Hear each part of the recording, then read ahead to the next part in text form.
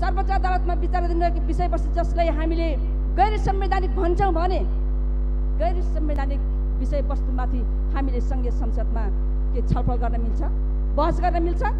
यो प्रश्न छ। त्यसैले हामी सत्ता सत्ता पक्षलाई हामी के प्रश्न गर्छौँ भने गैर संवैधानिक विषयवस्तुलाई संसदमा प्रवेश गराएर छलफल गराउनुको औचित्य के हो? यसको औचित्य पुष्टि गर्नु पर्यो। प्रमुख प्र- प्रतिपक्षी दललाई यसको जवाब सरकारले दिनु पर्यो।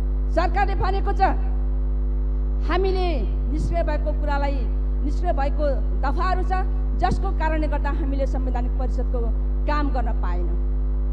काम गर्नको लागि हामीले हरेक संवैधानिक हेर्न पर्छ कि पर्दैन त? हेर्नु पर्ने थियो नि हेरेको छैन। तर यी सबै कुराहरूलाई जति बेला उहाँहरू प्रमुख प्रतिपक्षी दलको हैसियतमा रहनुहुन्थ्यो रहनुभएको थियो त्यति बेला उहाँले उठाएका कुराहरू सबै चिजहरूलाई बिर्सिएर हुबाउ किन ल्याइयो त?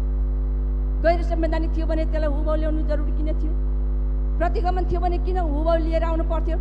तसर्थ हाम्रो प्रमुख प्रतिपक्षी दलको माग गैर संवैधानिक सर्वोच्च अदालतमा विचाराधीन रहेको विषयवस्तुमाथि संसदभित्र सङ्घीय संसदभित्र हामी बहस छलफल गर्न सक्दैनौँ।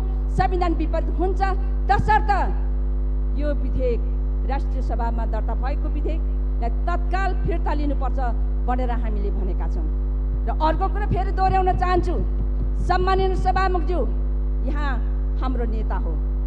सम्पूर्ण माननीय सदस्यको नेता हो सङ्घीय संसदको नेता हो एक नम्बरको नेता पहिलो नेता। नेताले कम्तीमा पनि आफ्नो संस्थाभित्र आफ्नो संस्थाभित्र आएका विषयवस्तुमा हेर्ने कि नहेर्ने ध्यान केन्द्रित गर्ने कि नगर्ने मैले यो संस्थालाई सञ्चालन गर्नको लागि यहाँभित्र बसिरहँदाखेरि मेरो दायित्व के हो भन्ने कुरो विचार गर्नुपर्छ कि पर्दैन?